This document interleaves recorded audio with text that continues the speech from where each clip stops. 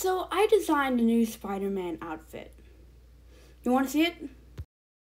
This suit is definitely much, much more complex than the first suit. I also got inspiration from Spider-Man India uh, because of the eyes and the hair poking out from the side. Also has an extra collar, which is fun.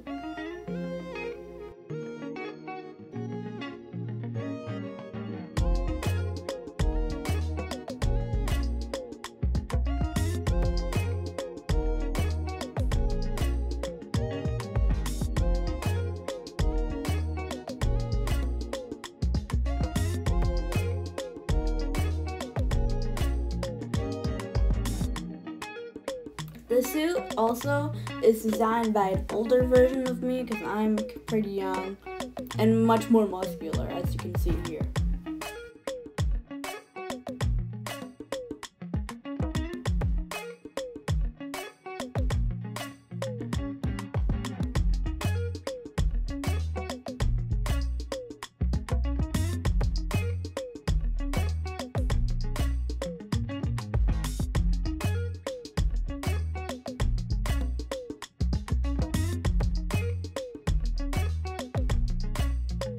So, which do you like better, the new suit or the old suit?